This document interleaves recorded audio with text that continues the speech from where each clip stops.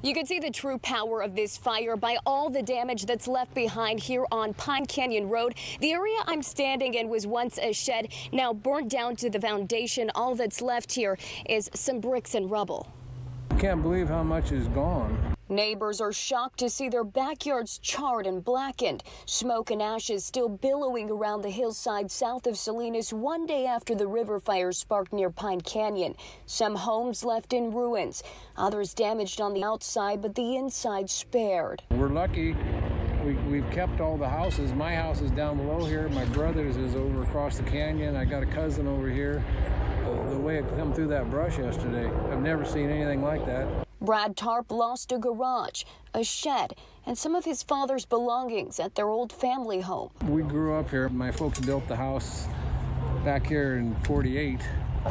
This was built in the 50s. Firefighters are mopping up to make sure the flames won't reignite, spraying down torched brush and wood.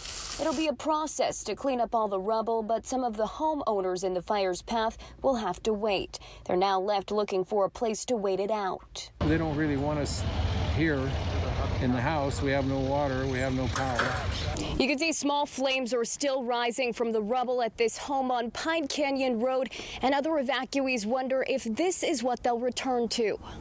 It's been pretty terrifying. We've had fires on this road before, nothing of this magnitude. Locals tell me neighbors are banding together to help save each other's properties, doing anything they can to try to limit the destruction before they have to leave. We've been watering the property with sprinklers and just dousing everything we can. But the devastation left behind sends a clear message. The fire's rage is powerful. CAL FIRE is stressing that it's important for residents to leave when asked to for their safety. CAL FIRE says this area is still not safe for people to come back to, but they hope to have a timeline within the next 24 hours. Back to you.